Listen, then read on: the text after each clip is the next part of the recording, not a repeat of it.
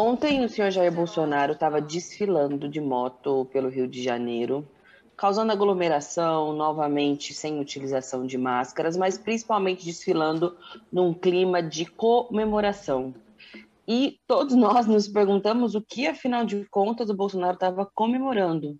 Se são quase meio milhão de mortos pela Covid-19 no Brasil, se é o recorde de famílias em situação de miséria, conforme nós podemos assistir os dados de ontem, de que o Brasil chegou numa situação onde nunca tinha chegado, de famílias que não conseguem ter o mínimo para garantir a sua subsistência, mais da metade da população passando por insegurança alimentar.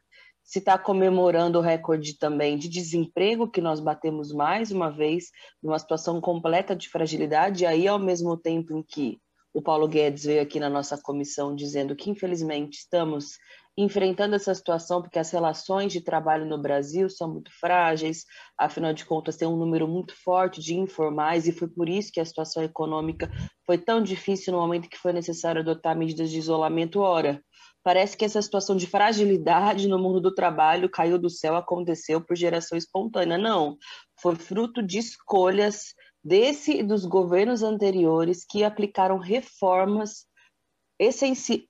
reformas que modificam a estrutura da sociedade brasileira e que atacam frontalmente a classe trabalhadora. E essa reforma administrativa vai no mesmo sentido.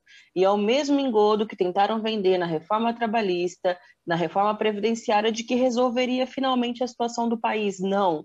O que resolve é investimento público, assim como mostrou ano passado, quando foi necessário injetar dinheiro público para garantir investimento no SUS emergencial, renda emergencial. É isso que a Câmara deveria estar votando e não uma granada no bolso daqueles que estão lá na UBS garantindo o atendimento da população, daqueles que estão nas ruas morrendo justamente pois por não, dos casos do governo Bolsonaro.